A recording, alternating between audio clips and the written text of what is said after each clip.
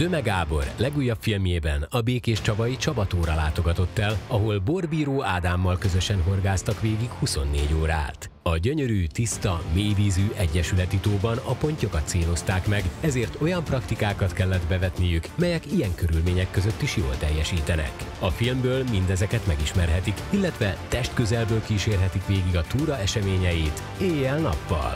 Mélyvízi metód a Fishing and Hunting műsorán.